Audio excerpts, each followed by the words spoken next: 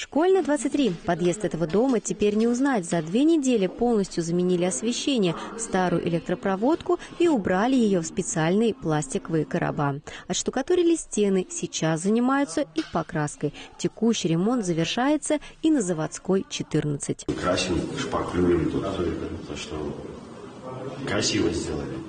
Такую красоту в подъезде можно навести в короткие сроки. Главное – это желание самих жильцов провести ремонт. В рамках губернаторской программы софинансирование идет из трех источников. Это средства управляющих компаний, областного и муниципального бюджетов, в том числе и жители подъездов. А основной причиной выполнения ремонта подъездов является желание жителя отремонтировать прежде всего подъезд и софинансировать э, сам ремонт. Прежде всего это единоразовый взнос, который потом не распределяется, и он у нас э, сейчас 1%. 1% от 142 тысяч это очень минимальная сумма, 100-200 рублей. Сумма реальная, и у жителей района есть возможность уже в этом году провести текущий ремонт подъездов, а не ждать еще несколько лет.